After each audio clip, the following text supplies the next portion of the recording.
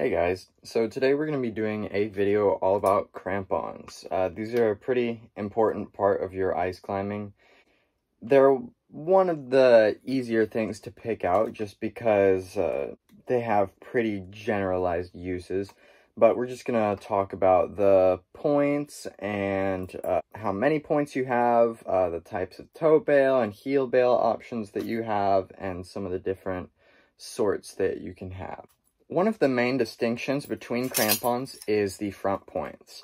So there are two kinds of points we have. We have horizontal points, like this pair. This is a very, very old black diamond pair. Uh, you can see they're rusting and stuff.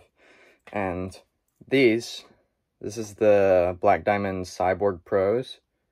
And you can see they have uh, uh, pick similar to an ice tool compared to these, which are more like a shovel. These are going to be more used for hiking or if you're on an alpine route, this is going to allow you to get better purchase into snow and it's not going to do as well with getting into ice. So the benefit of these is that usually these kind of front points are accompanied by a pretty uh, friendly design that's really easy to get on and off quickly because uh, time is safety in alpine environment. So these, if you're doing alpine, uh, these can be your friend, but for most people doing ice climbing, you're going to want to start with something like these Cyborg Pros with these sort of front points. Now the next thing to talk about is if it's a dual front point or a single front point.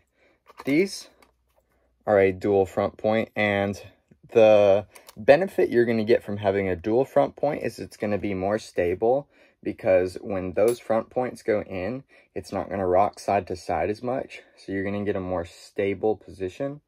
The downside is that it uh, can reduce mobility a little bit and make it where if you kind of dig your foot in a bad position, it's kind of going to interfere with you being able to move your foot and get it in that good position.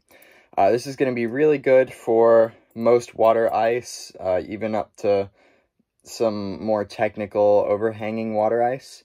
Uh, when you get into the more extreme stuff, you're maybe going to want to go to a monopoint crampon because also some of the features that you're going to be putting your crampons into are not going to really be well suited for two points. They're going to need only one point. And I've got a picture of the Black Diamond Stingers right here. And they are just a, a pretty standard monopoint crampon. Now, another one of the point styles that we have is like on these Grivel crampons. These come in two pieces, but we can see they are off-centered a bit. So one is quite a bit taller than the other. What this is going to do is this is going to give you uh, some of the mobility that you would get from a monopoint crampon and give you just a little bit of stability uh, that you would get from the dual point crampons. Uh, this is kind of something you'll have to experiment with and see if you like. And the good news is, like especially these Grivel crampons, they're very modular, so you can have a lot of different uh, front points and you can actually switch them out. You can see that's what this is for. And this bolt hole right here on either side. And uh, these can kind of be the best of both worlds but uh, you're probably not going to see a lot of difference between these and a dual point crampon because they're still acting very similar to a dual point crampon. The next thing we're going to be talking about is how crampons are attached to boots. Now if we look on a boot, we can see that a boot has a toe bail right here, which is a little spot that comes out that your crampon will actually stick on. And it also has a heel bail right here. And they don't have to be very large, they just have to be big enough to gain some sort of purchase, but this is where your heel bail will attach onto.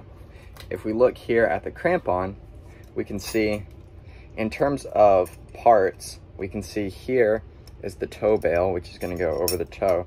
And this is the heel bail. This is a pretty standard uh, heel bail system. Basically what it is, is this is going to attach to the heel bail and it's just going to torque on and it'll actually snap into place. And then this will go around your ankle. And in terms of some other parts on crampons, you're going to have little pieces like these. This is going to help keep your boot stable on the crampon. And this is going to kind of triangulate the surface that the boot is going to be touching. So it's going to be here, here, and the toe bail. And you really don't have anything like that on the front. So let's just go ahead and show you how to get them on a boot. So the first thing you need to do is figure out if you have the right crampon. If you look here, the connection bar is actually moved a little bit to one side.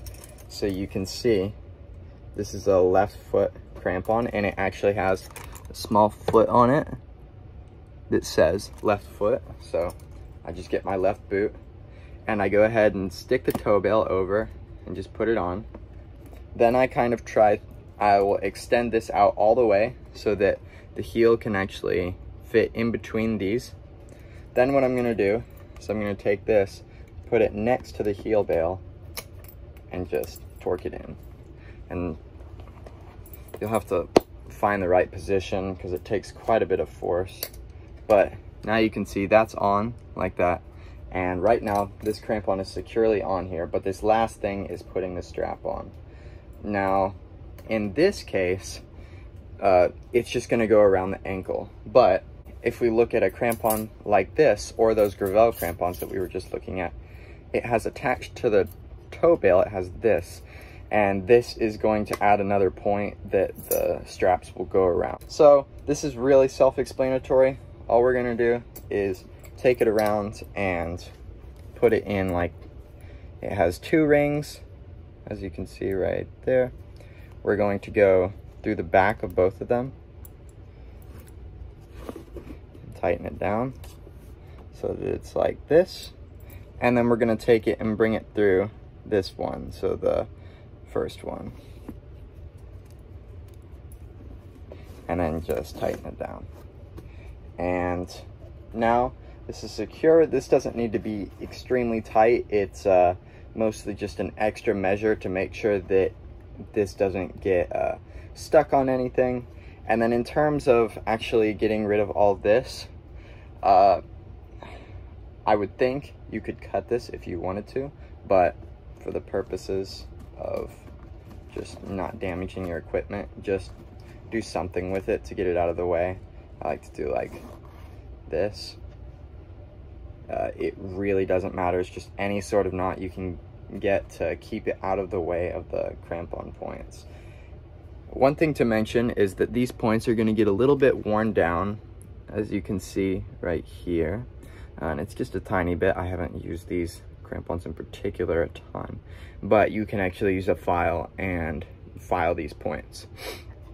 Now, one of the big things for stability is these points right here. These are behind the front points, and these are going to give you some stability when you go into the rock. All these, or into the ice rather, all these other points, like these uh, midway points, and then these ones in the back, uh, these are going to give you more stability while you're walking and stuff like that. And if you're in a dry tooling competition, or just if you're dry tooling in general, they actually uh, you'll see that the crampons are built into the boot sometimes and they also don't have any heel crampons. This is because they can cut the rope and they just try to mitigate this risk because they do a lot of figure fours and nines. So this will help mitigate the risk by taking these out. One last thing i kind of forgot to mention is there is another kind of toe bail that doesn't actually seat in the uh, toe bail spot on your boot. I'll show a picture of that now. And it's not going to be as secure, but it's going to be a lot quicker to get on. Basically, all you can do is open your crampon, put it on the ground, stick your boot in there, and then tighten the heel bail and uh, put the strap around. And it just makes one less step having to get this toe bail over. Uh, if you're doing ice climbing, you're probably going to want to steer away from those just because they're not very secure and they're going to not give as tight of a connection between your boot and the crampon. So anyways, that's about it for this video. I uh, hope y'all enjoyed. If you have any questions, uh, let me know. Should be doing some more ice climbing videos soon.